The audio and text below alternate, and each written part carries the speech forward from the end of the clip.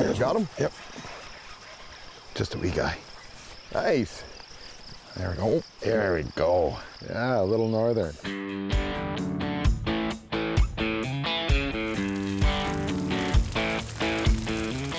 And being in the lodge business, you probably don't fish as much as you'd want to now because you're always working, huh? You know what? Being in the lodge business, yeah, that's a little guy right there. Yeah. Um, It's been absolutely fantastic, but uh, definitely, I don't get to fish much at all. So you know, you're you're enjoying this moment on this nice quiet it morning, brings back right? memories, is what it does, Bob. before you owned the lodge. From before I owned the lodge, yeah, exactly. absolutely. Coming up. On this week's episode, Bob spends time on the water with tournament angler turned lodge owner Steve Niedzwiecki. Chaudière Lodge is a five star resort located on the upper French River. There's always work to be done, but Steve steals time away from the lodge to give Bob a taste of the fishing. Steve's passion is to offer an exceptional experience and doesn't disappoint as he guides Bob into the big bass action at Chaudière Lodge. Wow. Here we go. That is a fish of a lifetime right there. Wow, we. That thing is a monster. They fight hard, don't they? Look at that magnificent fish. the size of that fish. again. The color is incredible. Oh, there we go. The Real Fishing Show with Bob Izumi. Big old Great Lakes smallmouth. That is a big rainbow trout, Chris. Nice double header. Whoa! Nice jump. Yeah. All right. That is a monster smallmouth. Man, that is so cool. Another one. There we go. The biggest pike I've ever caught. Look at that chunk. So that's what we're talking about. Real Fishing is sponsored by Mercury, number one on the water, and Tim Hortons. On the Real Fishing Show, we make catching fish like this a possibility. Oh, there we go. Oh, I love fishing a swim bait. Whoa, you dip here, buddy. Very cool. Oh, a little largemouth there. Nice. Hey, we're up here on the French River, just down the way from Lake Nipissing, and I'm at Chaudière Lodge. And uh, Steve Niedzwiecki really runs a great uh, operation. It's, um, you know, I knew Steve back in the early years of tournament fishing, and I understand he bought this place about six years ago, and I finally had a chance to make it up here. And am I ever glad I did? I've been here now for a couple of days, and the fishing has been just off the charts.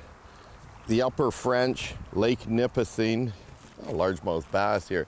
The Upper French River, uh, where the lodge is located, and Lake Nipissing is world renowned for muskie fishing, walleye fishing, largemouth fishing, smallmouth fishing, pike. It just has a lot of species. Let's see if we can catch another fish. Great place.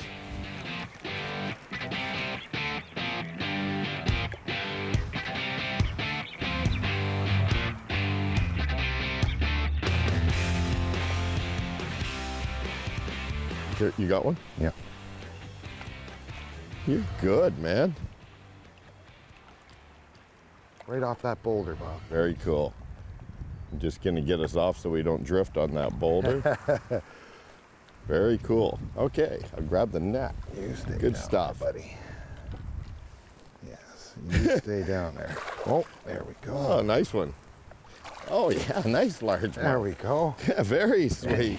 That's a good one, Buddy, Look at that. All right, nice start Thanks, to the morning. Nice That's start it. to the And morning. Did he ever eat it? Yeah, no, you, you had a flat dog on there, and uh, look at that. Look at how fat that fish is, too. That's a good one. Yeah, I think we, we need a photo of that one before we keep fishing. What do you think? I think that's a great idea. Bob. Okay, here you go. You hold him. You caught him. Good stuff. There we go. Sweet.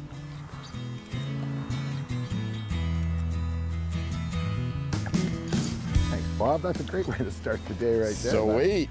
Good one. Nice fatty. Oh yeah, we'll put him back. All righty. Go get some go get his grandpa. Yeah. Okay, there you go, buddy. Very nice. Yeah. Good job. When they start to waddle as they go, you know they're getting a little bigger. All right. Beautiful. It's around the power pole. Battling bass on the French River when we return. Stay tuned. Let's take a look down under with this week's Fish Eye View, sponsored by Mercury, number one on the water. The activities of man have always had a negative impact on fish populations. Thankfully, some of our structures show a positive effect. The very best things mankind has created are bridges and culverts. Indeed, some of the most incredible fish we've ever recorded call these places home. On larger crossings, bridge abutments have a special appeal, and it's easy, nearly vertical fishing right below your feet. Well known and therefore heavily fished, docks are classic man-made cover that draw many different species. Frequently overlooked, wooden pilings that anchor boathouses and other structures are particularly attractive to fish. Break walls are another matter. Usually bypassed, they appear static and boring. Even so, we've seen evidence to suggest they hold plenty of heavy specimens. Actually, man-made features don't need to be that extensive to draw fish. Anchor blocks that hold channel markers and buoys in place, for instance. Even chains and ropes add to the equation. Or it can be something as simple as an underwater cable. On the smaller end of the scale, carelessly discarded or lost items are eventually claimed by fish. It's all about something different on the bottom. In effect, man's garbage recycled into someone's home.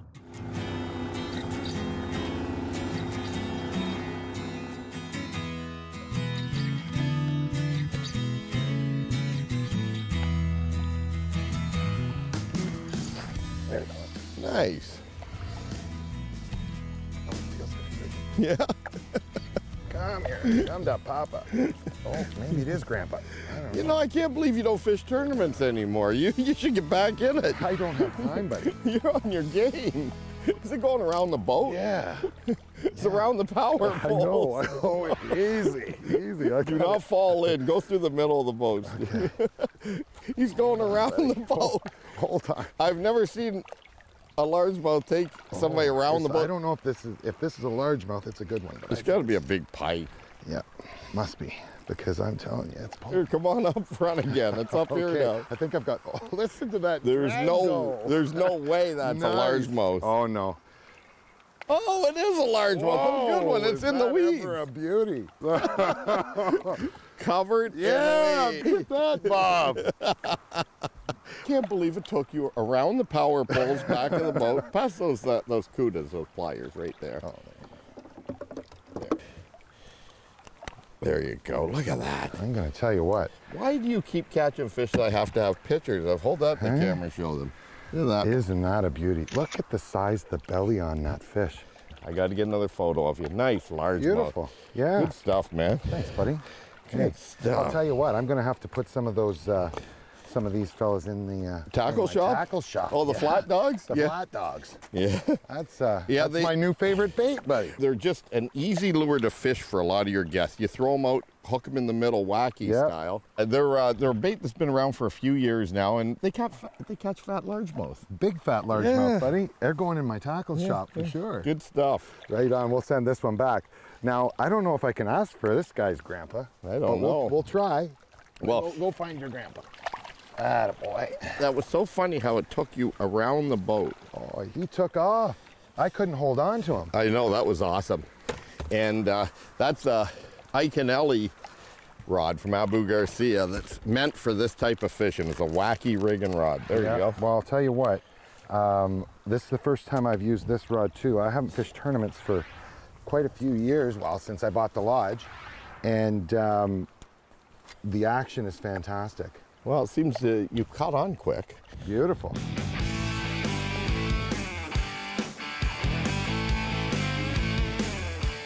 Let it load up, and then Yeah. just sweep that Nice. hook into them. Yeah, nice little largemouth. I love it.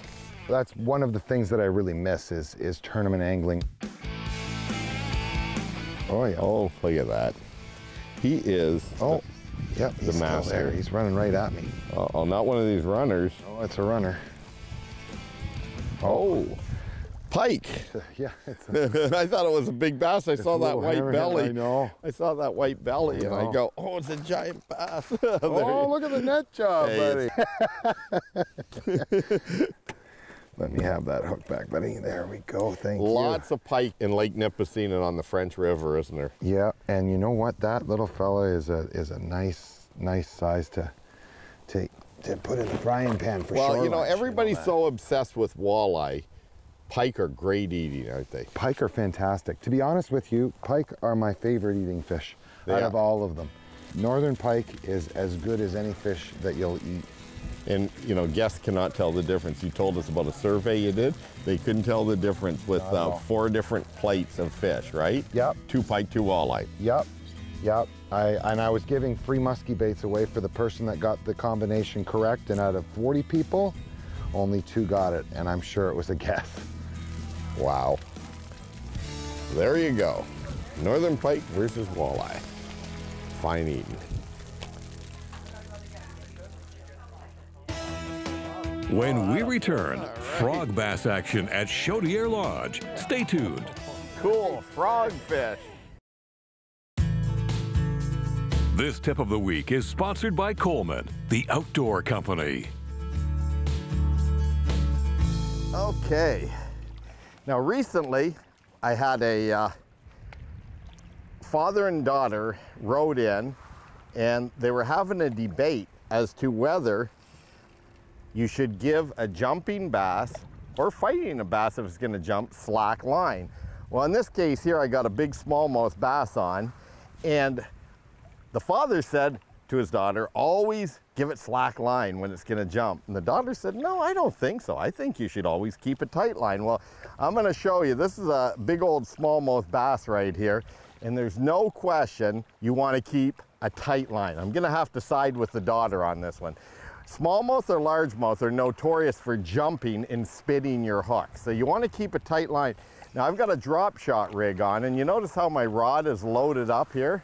So the rod's loaded up and I'm keeping tight line. Now in tournament fishing a lot of times we we don't uh, want the fish to jump, but I'm just having fun here so we'll see if we can force this fish up to the surface. But really you want to keep a lot of tension on it and if the drag is pulling like on this MGX uh, Revo reel here, don't reel against the drag. Just keep fighting the fish, use your rod to your advantage. And this is this is a big bass. I'm telling you, it's got to be. It hasn't even showed itself yet. Came from pretty deep water. Oh, here it comes up here. Oh yeah, look at that. Look at that. All right, big old smallmouth. Oh yeah. Oh, that's what I'm talking about. That one there is well over four pounds. And as you can see now, drop shot hook, look at that. It's gonna pop right out. If I gave that any slack at all, I'd probably have lost this trophy smallmouth. All right, look at that fat guy. See you later, buddy. Always keep the tension on your line. Make sure that rod's loaded.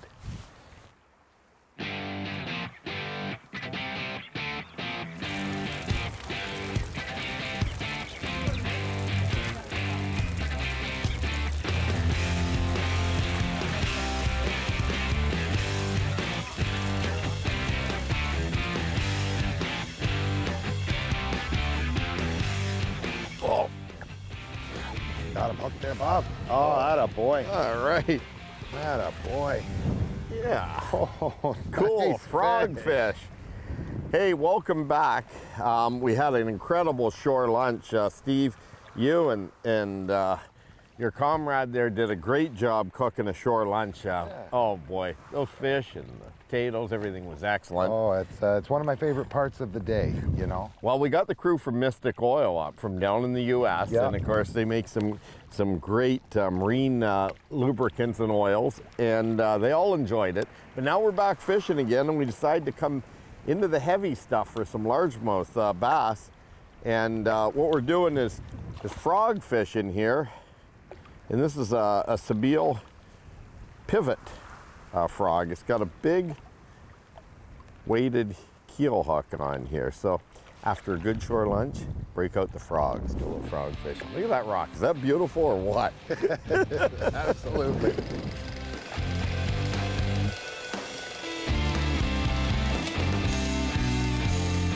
Oh, There he is. you got him? Yep.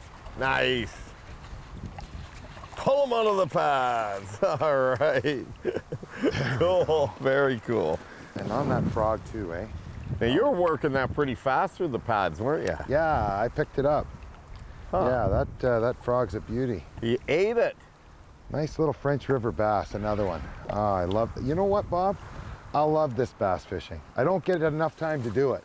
Well, I know. You know, we were talking about that earlier. Once you got in the lodge business, it kind of cut it down, and you know, you got such a great operation up here. You know, between the the fine dining, the shore lunches, the accommodations, the guides. You got the whole package up here at Chaudière Lodge, don't you? The Chaudière Lodge is located four and a half hours north of Toronto. We're located on the Upper French River and have access into Lake Nipissing. One of the largest emphasis is our fishing. And the fishing on the Upper French River and Lake Nipissing is outstanding. Walleye is, is world class. The muskies, Nipissing holds the live release world record, but the one most underfished species is bass, large and smallmouth bass. And I love bass. It's a fantastic experience. Oh. You got him? Yep. Oh, nice. That was just too cool. Whoa, hold on here. Come on, let me get let me get the net. That was too cool. That's a decent fish off that log. that was cool. nice job. I like on. it. You threw that frog in the wind caught it, didn't it? Just a touch. the wind caught it and that thing exploded on the frog, Oh, and he just ate it. Look at that. Is there a hole in its mouth right there? You're not the first person that may have touched this bass. No. But look at that frog. It's disappeared. Oh, yeah. Perfect ending to a perfect stay at Chaudière Lodge. Stay tuned. That is a big largemouth.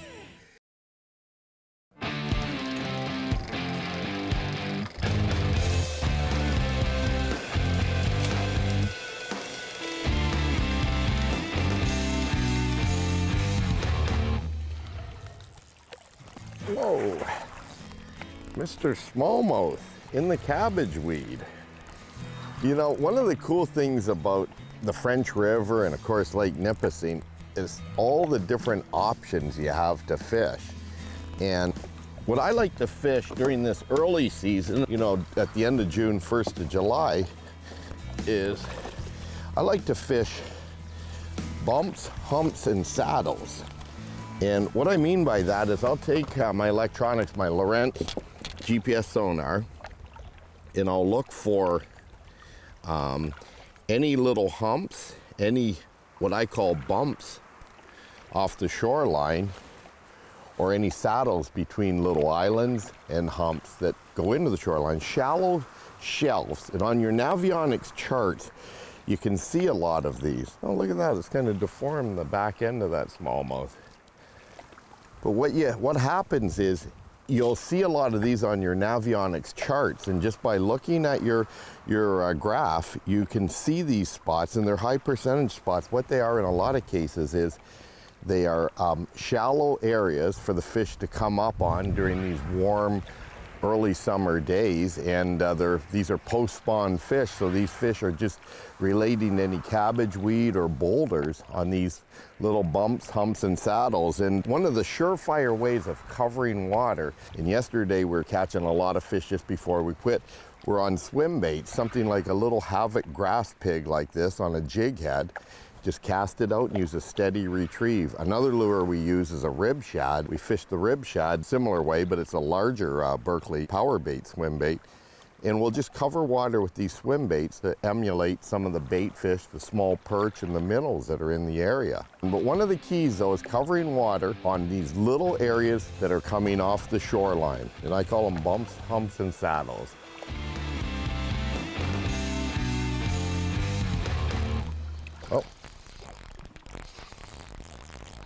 Whoa. There's a tree in the water there. And all of a sudden the bait stopped. It was, oh, that's a big bass there. That's a largemouth. All of a sudden my swim bait just stopped. And uh, man, oh man, I thought it was snagged, but check this fish out here.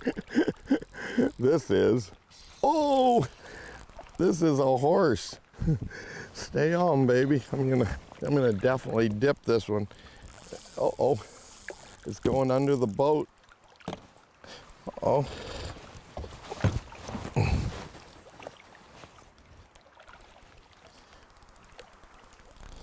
Oh, here it comes. Oh yeah, on this Emotion Berkley rod. This is just such a nice graphite rod. And here we go. Oh yeah, there, that is a horse. Whoa, that is a big largemouth. Wow. Look at that. Hey folks, you know, it's been just such a wonderful time up here fishing out of Chaudière Lodge in Northern Ontario, catching all kinds of largemouth bass, few token smallmouth bass, pike, and what can I say? This place is just uh, a short four hour drive north of Toronto and uh, Steve and his wonderful staff will take care of you. Maybe you'll even catch a few fish just like this. Woo! See you next week right here for some more real fishing. Yeah, all right. this is a big fish. That is a fish of a lifetime that is just amazing. Look at that thing. Oh, yeah. Wow. oh, man. that was too cool. Oh, man, what a fish. Look at that. Yeah.